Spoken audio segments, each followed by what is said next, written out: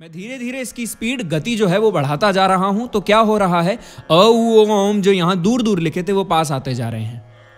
है ना? ऐसी धार चलती है ये। और ये चलते चलते उल्टा त्रिकोण बनता है। और उल्टा त्रिकोण बन के कहाँ पहुँचता है ये? ओम पर। इसी को जितना जितना जल्दी आप बढ़ाते जाओ, उतना बढ़ता जाएगा। ये संपूर्ण डायमंड बनता है। यहाँ से आप देखें, अगर इसका आकार समझ सको तो ये इन्फिनिटी का आकार बनता है। है ना? इन्फिनिटी यानी अनंत। और ओम प्रणव अक्षर है, वहीं से शुरू है, उसी पर खत्म है। तो इन्फिनिटी उसे ही कहते हैं कि वहीं से शुरू है और वहीं पर खत्म है। है ना? उसका कोई अंत दूसरा नहीं है। सर्कल है। है ना? सर्कल है। उसका कोई स्टार्ट और कोई एंड नहीं है। इन्फिनिटी है। उसका कोई स्टार्ट कोई एंड नहीं। है इन्फिनिटी ऐसे जाती है ये। आठ। आठ का आकार बनता है। है ना? इसीलिए आप ये देखिए कि आठ मात्रा जो है, वो आम इंसान जल्दी पकड़ लेता है। है ना? क्योंकि आठ वहीं बना हुआ है। शुरू ही वहीं से हुआ है। Live video call classes morning vocal रियाज सेशंस रिकॉर्डेड क्लासेस सब कुछ अवेलेबल है संगीत धरा एस ऐप पर। अभी डाउनलोड कीजिए एंड्रॉइड आईओएस और डेस्कटॉप तीनों पे अवेलेबल है। डाउनलोड कीजिए और घर बैठे सीखिए। अब इन पाँचों अक्षरों को आपका प्रोनाउंसिएशन एक तो सुधारिए, फिर पूरी पूरी सांस में बोलने का बताया मैंने फ़र्स्ट स्टेप मॉर्निंग वोकल रियाज मैंने जो हेडिंग पढ़वाई थी, उसमें ओमकार का रियाज जो लिखा था, ये पाँच अक्षर हमने बना लिए थे उससे। पहला स्टेप उसमें ये था कि एक सांस और एक अक्षर, यानी पाँच सांस पाँच अक्षर। ये पहला रियाज है। उसके बाद सेकंड स्टेप इसी में आता है कि एक ही अक्षर में ए, एक ही सांस में पाँचों अक्षर हमारे आ जाने चाहिए। कैसे आएगा?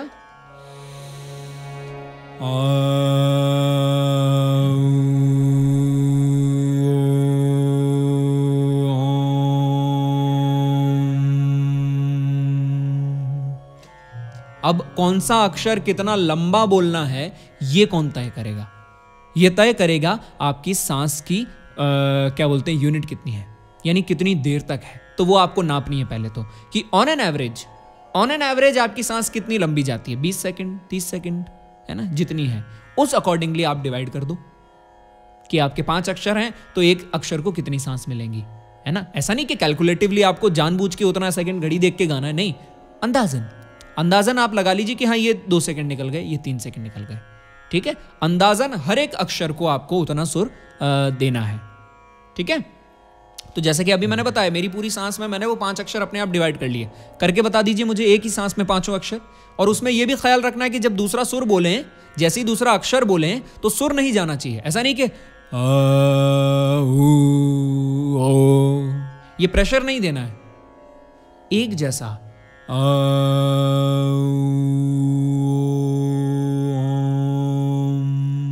क्योंकि सिर्फ़ होंठों का आकार बदल रहा है और कुछ नहीं तो सुर नहीं बदलना चाहिए। गले से जो पिच निकल रहा है, सुर निकल रहा है, वो समान, सटीक, एक जैसा। करके देखें एक बार।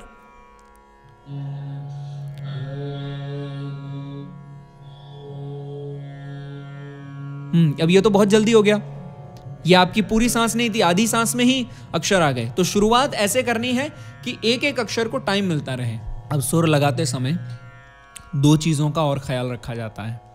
जेस्चर और पॉस्चर दोनों. क्या जेस्चर्स हो रहे हैं? यानी फेशियल एक्सप्रेशंस कैसे हैं? बॉडीली जेस्चर्स कैसे हैं? यानी हाथ कहाँ है? शरीर कैसा है? और बॉडी पॉस्चर कैसा है? क्या हम ऐसे बैठे हुए हैं?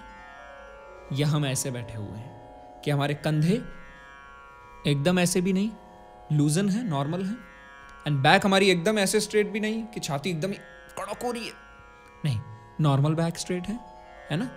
तो एक ही सांस में पाँचों अक्षर लेने के लिए हमें पहले सांस को मापना ज़रूरी है कि हमारी सांस कितनी लंबी है। जितनी लंबी होगी, उसी अकॉर्डिंग हम डिवाइड कर पाएँगे। ठीक है? इसमें हम लय को भी इंट्रोड्यूस करते हैं, लेकिन अभी नहीं करेंगे, क्योंकि अभी तक आपका लय का चैप्टर जो है, आगे नहीं बढ़ा है। तो इसमें लय को इंट्रोड्यूस नहीं करेंगे। वरना सीधी सीधी गणित बिठा के लय इंट्रोड्यूस होती है इसमें। अभी पहला स्टेप लिया था कि एक ही सांस में पाँचों अक्षर लेने हैं। अब दूसरा स्टेप आता है, एक ही सांस में पाँचों अक्षर को दो बार लेना है। तो ज़ाहिर से बात है डिवाइड इसका बदल जाएगा अब, है ना? हर सुर को, हर अक्षर को समय कम मिलेगा। तो क्या किया मैंने ये? दो गुना कर दिया उसका। ठीक है? अगर मैं छोटा सा एग्ज़ाम्पल लेके बताऊँ। आ...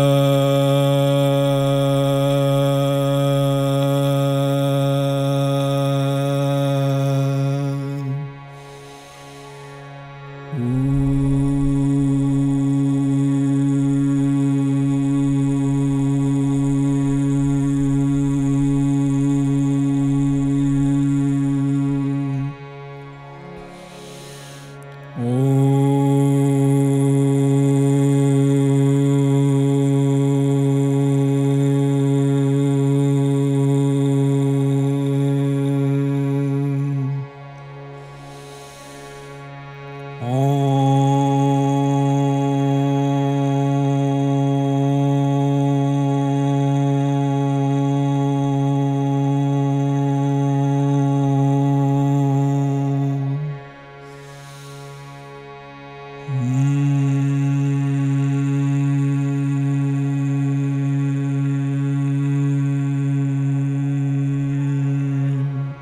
ये पहला स्टेप था।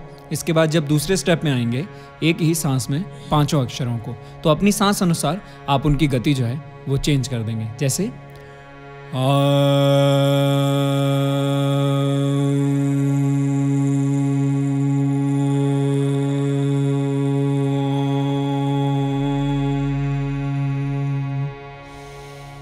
ऐसा ज़रूरी नहीं होगा कि हर बार वो एक ही जैसा आए, है ना? हमेशा ओम की गति सेम रहे, ऐसा नहीं है। थोड़ा ऊपर नीचे होता रहेगा हम मशीन नहीं है और मैकेनिकली हमने डिवाइड नहीं किया कि एक ही अक्षर को कितने सेकंड्स देने हैं, है ना? ऑटोमेटिकली हम, ठीक है, अंदाजन, अनुमान लगा के कर रहे हैं। फिर जब क्या किया, अब इसको एक ही सांस में दो बार करना है। ये हमारा सेकेंड स्टेप है, ठीक है?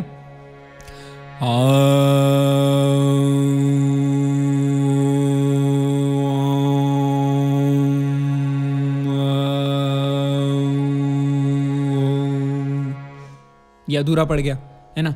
ओ पर आया, इतने में मेरी सांस खत्म हो गई। तो मुझे क्या करना पड़ेगा? हल्की सी गति बढ़ानी पड़ेगी, है ना? ये समस्या मेरी नहीं आएगी अगर मैंने इसे एग्जैक्ट कैलकुलेट कर लिया है। अगर मेरी सांस को मैंने कैलकुलेट कर लिया और एक टेंपो में मैंने ओम को करना शुरू किया, यहाँ हम ये कहेंगे कि हम रियाज में संगीत का जो ग्रामेटिकल पोर्शन है, उसे इंट्रोड्यूस कर रहे हैं। अगर मैंने, जैसे आपको टेंपो मालूम है, लय होती है।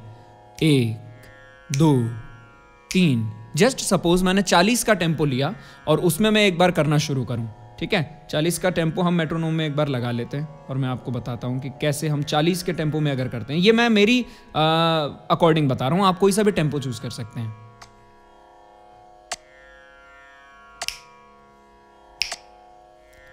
एक, दो, तीन, ये चालीस का अगर टेंपो इसमें अगर शुरू करते हैं।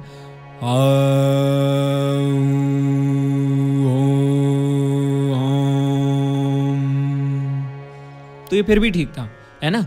इसमें क्या बेनिफिट मिला? देखिए, दोनों, हर चीज़ को आपको बारीकी से माप के चलना होगा। अक्षर बोलने के बाद सांस भी लेनी है, क्योंकि पूरी सांस में खत्म कर रहे हो। तो ज़ाहिर बात है थोड़ी सी मार्जिन छोड़नी होगी। दो सेकंड की मार्जिन आपको छोड़नी होगी, है ना? ये सारी चीज़ें ध्यान रखते हुए इस रियाज को करना है आपको। है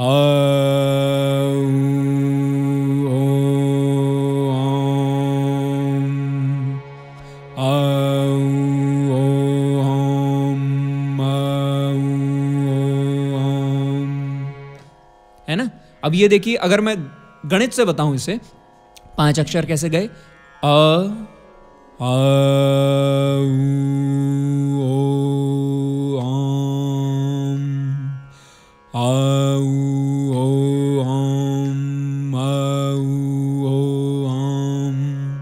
दो गुना किया मैंने एक एक मात्रा में दो दो अक्षर बोलता गया। ठीक है? तो ये एक तरीका है और दूसरा तरीका है अनुमान। अनुमान से आप कर लीजिए, कभी दो बार आएगा, कभी नहीं आएगा, कभी डेढ़ बार में खत्म हो जाएगा, फिर सांस ले लोगे, कभी दो से ज़्यादा हो जाएगा, चलेगा, वो कोई गलत तरीका नहीं है है ना? क्योंकि रियाज है मेडिटेशन है।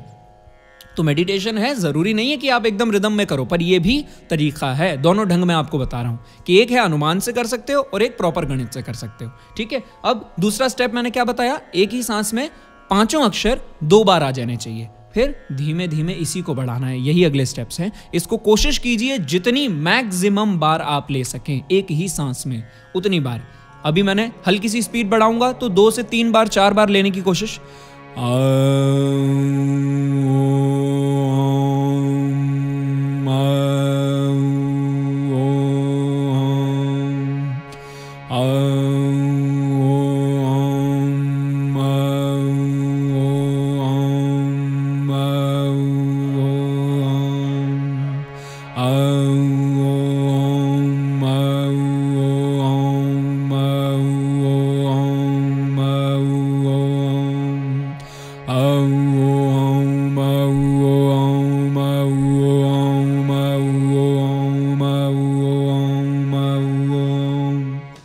समझ रहे हैं? मैं धीरे धीरे इसकी स्पीड गति जो है वो बढ़ाता जा रहा हूँ तो क्या हो रहा है? अ ओम जो यहाँ दूर दूर लिखे थे, वो पास आते जा रहे हैं। है ना? ऐसी धार चलती है ये। और ये चलते चलते उल्टा त्रिकोण बनता है। और उल्टा त्रिकोण बन के कहाँ पहुँचता है ये? ओम पर। इसी को जितना जितना जल्दी आप बढ़ाते जाओ, उतना बढ़ता जाएगा। ये संपूर्ण डायमंड बनता है। यहाँ से आप देखें, अगर इसका आकार समझ सको तो ये इन्फिनिटी का आकार बनता है। है ना? इन्फिनिटी यानी अनंत। और ओम प्रणव अक्षर है, वहीं से शुरू है, उसी पर खत्म है। तो इन्फिनिटी उसे ही कहते हैं कि वहीं से शुरू है और वहीं पर खत्म है। है ना? उसका कोई अंत दूसरा नहीं है। सर्कल है। है ना? सर्कल है। उसका कोई स्टार्ट और कोई एंड नहीं है। इन्फिनिटी है। उसका कोई स्टार्ट कोई एंड नहीं इन्फिनिटी ऐसे जाती है ये। आठ। आठ का आकार बनता है। है ना? इसीलिए आप ये देखिए कि आठ मात्रा जो है, वो आम इंसान जल्दी पकड़ लेता है। है ना? क्योंकि आठ वहीं बना हुआ है। शुरू ही वहीं से हुआ है। ठीक है? तो कैसे शुरू होता है? ओम। एक पॉइंट से शुरू कीजिए। अब ओम को तोड़ा तो ओ और म। है ना? ये आकार बनाइए अपनी कॉपी में। पहले लिखिए ओम, फिर नीचे लिखिए ओ और म। फिर इसे और तोड़ा तो ओ ओ, म। है ना? और तोड़ा गया तो अ, उ, ओ ओ, म।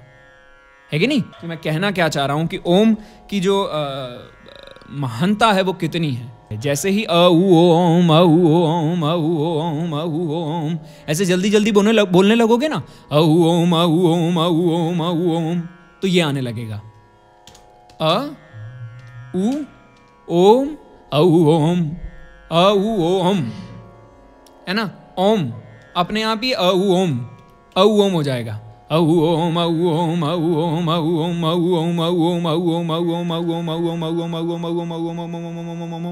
है ना औ ओम बन के फिर ये सिर्फ़ रह जाएगा ओम ओम ओम ओम ओम ओम ओम ओम ओम और वो तब्दील हो जाएगा ओम में ठीक है तो ये क्या बना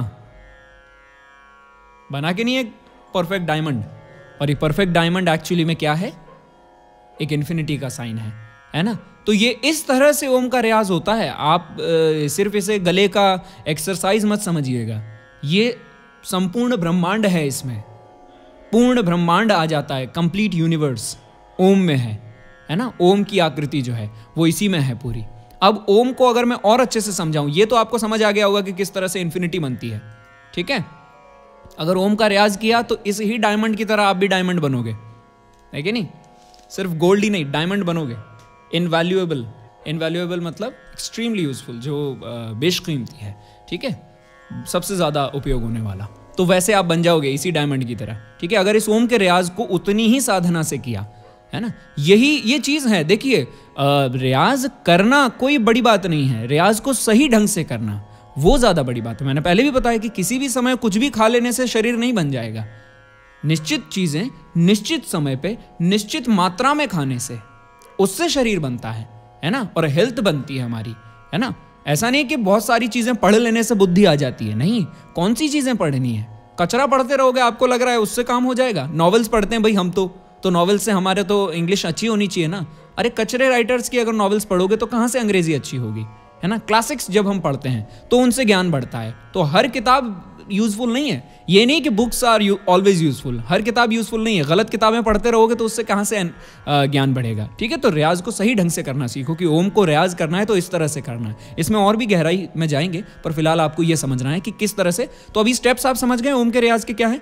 पहला, बताओ मुझे एक ही सांस में एक एक अक्षर आना चाहिए। ठीक है? दूसरा, एक ही सांस में पाँचों अक्षर आने चाहिए। तीसरा स्टेप, एक ही सांस में दस अक्षर आ जाने चाहिए, यानी वही अक्षर, पाँच अक्षर, दो बार। फिर उनकी गति बढ़ाते रहनी है। अब वो लय के साथ करोगे तो एक गुना, दो गुना, तीन गुना, चार गुना, पाँच गुना करोगे तो कितना भी गुना जा सकते हो। और बेलय करोगे, बिना लय के करोगे तो आपके ऊपर है कि ये आपकी सांस कितनी है और कैपेसिटी कितनी है कि उन अक्षरों को स्पष्ट, साफ़ कब तक बोल सकते हो, किस गति तक बोल सकते हो। इसका यह भी ख्याल रखना है। ऐसा नहीं कि मैंने बोल दिया गति बढ़ानी है तो आप रैंडमली गति बढ़ा दो। है ना या कुछ भी बोल रहे हो भली गति बढ़ गया चाइनीज़ नहीं बोलनी है ठीक है ये बोलते समय वो पाँचों अक्षर स्पष्ट होने चाहिए जैसे इस गति तक मैं इन पाँचों को स्पष्ट बोल सकता हूँ साफ़ बोल सकता हूँ अगर आपकी इससे कम गति में ही इनका प्रोनाउंसिएशन बिगड़ रहा है तो अ ओम अ ओम इसके बाद का स्टेप क्या आता है अ ओम अ ओम है ना और उसके बाद का स्टेप अ ओम अ ओम अ ओम अ ओम है ना? इसीलिए मैंने वो त्रिकोण बनवाया आपको कि किस किस स्टेज पे जब गति बढ़ जाएगी तो क्या क्या उसकी स्थिति होगी? यानी कौन से अक्षर निकल रहे होंगे जबान से? ठीक है? समझ आ गए? इसको इसको रियाज आपको सबसे पहले करना है और 45 मिनट एक घंटा जितना भी आप कर पाओ। शुरू करेंगे।